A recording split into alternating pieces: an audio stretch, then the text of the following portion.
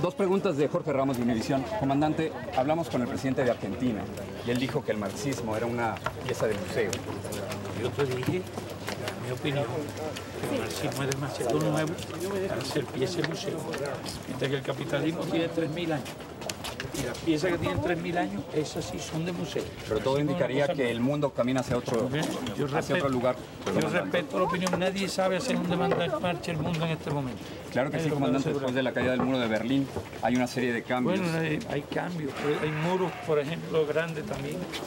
Por ejemplo, el muro que está entre México y Estados Unidos para impedir que crucen los pobladores. Es un ejemplo, hay muchos muros en el mundo. Y ahora tienen una gran preocupación de que se produzcan movimientos migratorios grandes. A lo mejor construyen un muro Pero estamos hablando- desde el Báltico hasta el Mediterráneo. Pero estamos hablando ideológicamente, comandante. Muchos creen que este es el momento para que usted pida un plebiscito.